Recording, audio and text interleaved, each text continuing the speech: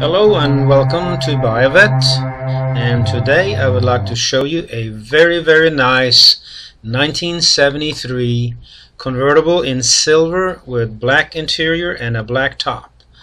This is a numbers matching 250 horsepower 350 cubic inch engine. This car is beautifully maintained. Here you can see the rally wheels and chrome trim rings and a look at the engine compartment you can tell that this car is in very very nice condition.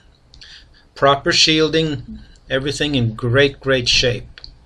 This is probably the nicest C3 convertible in a mid 70s that I have seen.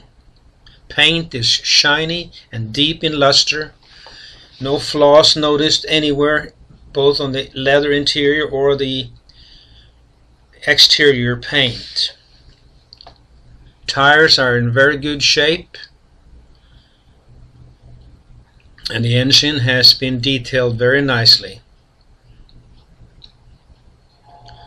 Hood underneath you can see the padding is in place and in great condition. Here's a little glimpse of the interior. However, being a little dark in our showroom, it won't show much detail dash is in great shape. This car has also the tilt and telescope, which I really think is nice to have on the C3. You can see the top is near new with no scratches or flaws. Chrome and paint and everything is great shape. Give me a call at buyvet.net. This is Jan Hermstad 678-680 and hey, we're in Atlanta, Georgia. Thank you for looking.